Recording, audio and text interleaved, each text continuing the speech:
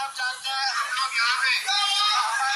हमारे अत्याचार हुआ है और हो रहा है।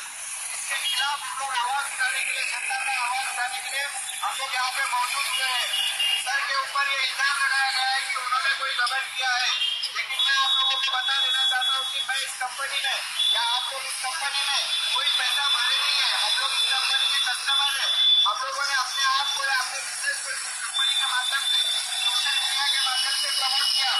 यही प्रमोशन अगर फेसबुक है, वो गूगल ये विदेशी कंपनियाँ करती है तो यूपी सरकार का चलता है, लेकिन अगर कोई देशी कंपनी यही काम करती है तो यूपी सरकार को मैं सवाल पूछना चाहता हूँ, क्यों नहीं चलता है? क्या इनके, इनको यूपी सरकार को विदेशी मुद्रा मिलती है? इसके लिए ये लोग विदेशी कंपनियों को चला रहे यूपी सरकार ने हंड्रेड परसेंट दावे के साथ बताओ फेसबुक और गूगल के गूगल से करोड़ों रुपए लिए होंगे सभी ये लोग कहा रहे लेकिन मैं एक सच्चा हिंदुस्तानी हूँ।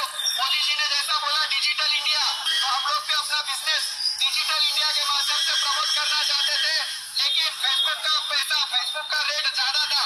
तो हम लोगों ने सोशल ट्रेड को चुना, मित्तल जी की एवलेज कंपनी को चुना, जिसके माध्यम से हम लोग छोटे मोटे व्यापारी अपने पेज पे प्रमोट कर रहे हैं, अपने सोशल मीडिया हैं।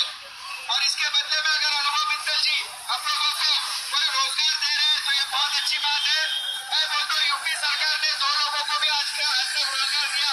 मैंने सुना नहीं है, लेकिन अनुभव मित्तल जी ने सात लाख से भी ज़्यादा लोगों को रोज़गार दिया है, सिर्फ़ रोज़गार नहीं दिया है। तो मैं आपको बताना चाहता हूँ कि मैंने इस माध्यम से अपने पेज को प्रमोट